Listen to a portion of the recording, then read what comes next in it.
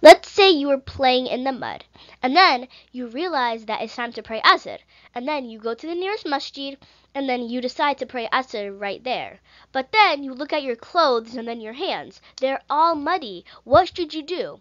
If I was you, I would go to the to the restroom and then make wudu. If you go to an interview and you have not good clothes, do you think the people are going to hire you for their for their job?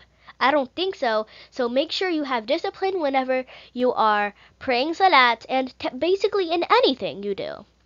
To make wudu, you have to wash your hands three times, like one, two, three. You have to wash your mouth three times by gurgling water, like you got water, and then you're gonna spit it out. You're going to wash your nose three times like this. You're gonna put water in your nose and then take it out three times. Then you're gonna wash your face three times like that, three times. And then next, continuing, you have to wash your arms until the elbow, like from here to all the way down to your elbow three times. You're gonna wipe your head one time. You're gonna wash your ears one time, and then your foot all the way to the ankle one time.